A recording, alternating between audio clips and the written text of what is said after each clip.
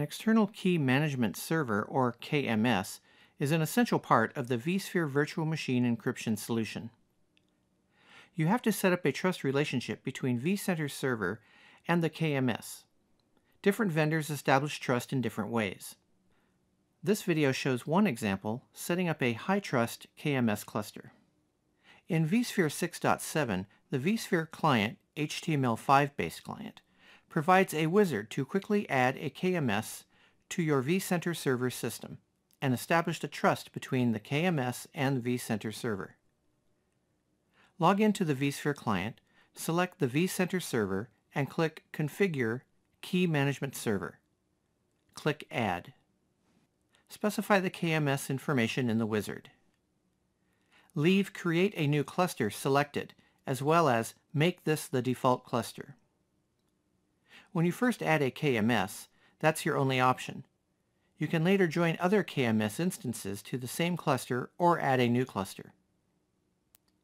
Specify the name and alias for the KMS. If you have to replace the vCenter server system, you must connect to the KMS using the same name. Next, specify the FQDN and port. Some vendors also require a login name and password. In this example, we do not specify it.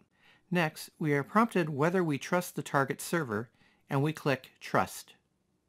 The wizard displays that vCenter server trusts the KMS with a green checkmark, and that your next step is to make the KMS trust the vCenter server. vCenter server now trusts the KMS.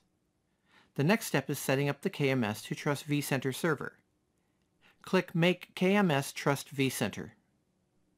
Many KMS vendors require a certificate to trust an external server. In this example, for HyTrust, we select KMS certificate and private key and upload the certificates obtained from the HyTrust server.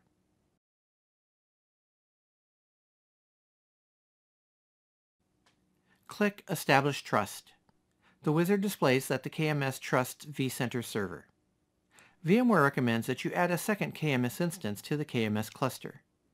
If your environment uses different KMS vendors, you can add a second cluster. In that case, you have to set the default KMS. For additional information, see the vCenter security document and visit docs.vmware.com.